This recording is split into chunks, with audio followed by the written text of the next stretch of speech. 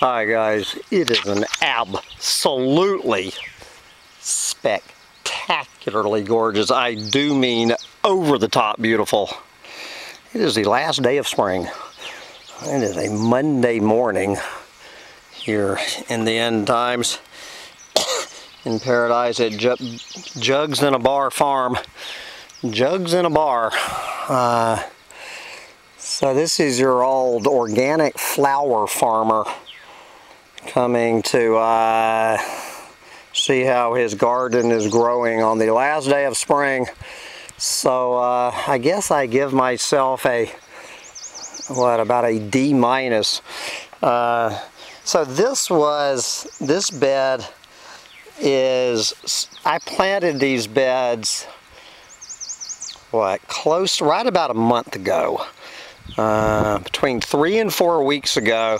This is mostly the sunflower bed. Uh, planted about a hundred different, so this is sunflowers and castor beans. Uh, planted about a month ago. 100% crop failure. Not one single sunflower has sprouted in almost a month. Uh, I'm quite sure all of the seeds are rotten. Now there is a chance that they did sprout. and as soon as they emerge from the ground, the goddamn slugs got them. I'm not a 100% sure about that.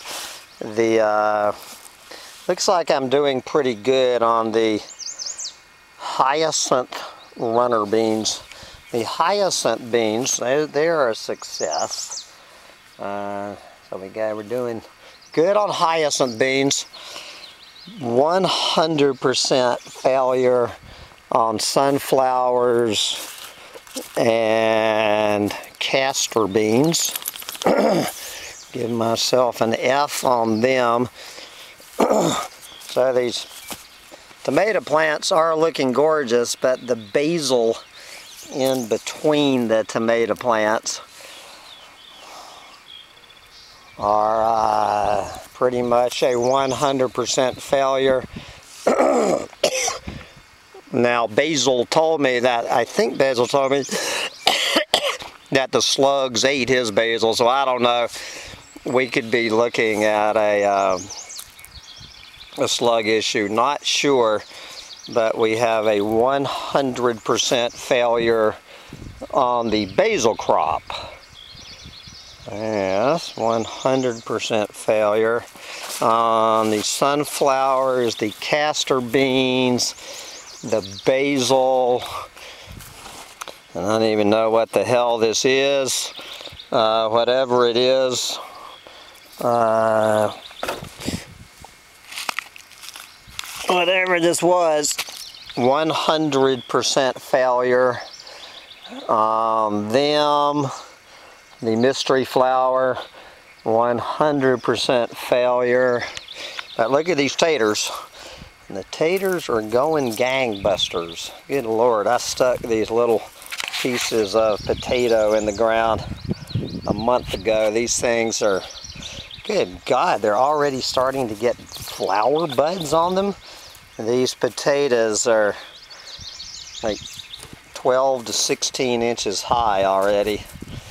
And it's a fine year for potatoes. Okay, these zinnias. Good all zinnias. Three kinds of zinnias. 100% uh, failure on these zinnias.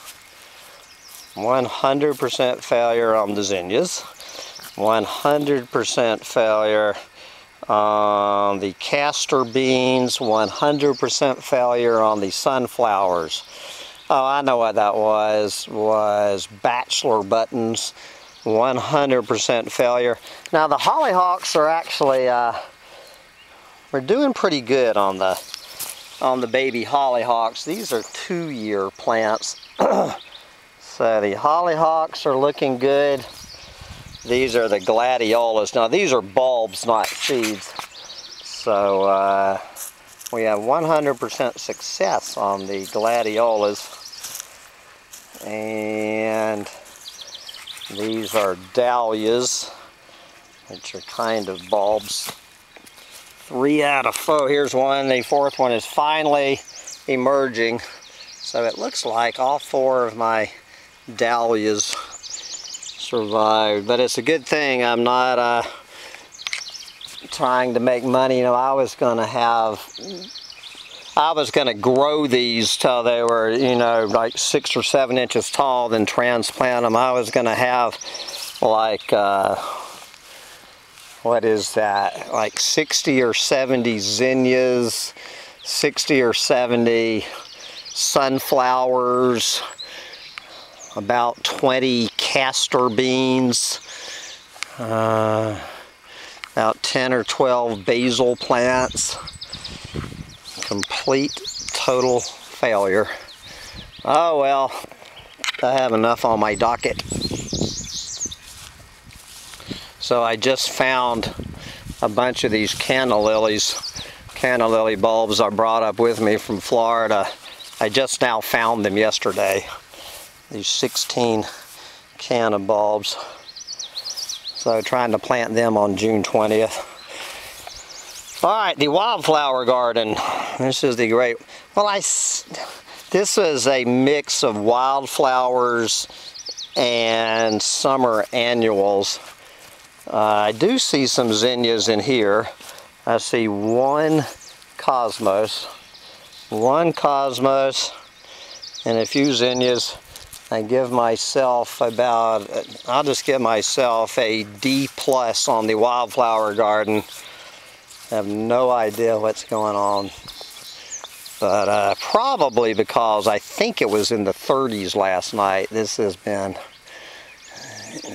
generally speaking, the coldest spring and I don't know how long with a few weather whiplash 90 plus degree days in between the 30 something degree nights could have something to do with the uh, abject failure of the uh,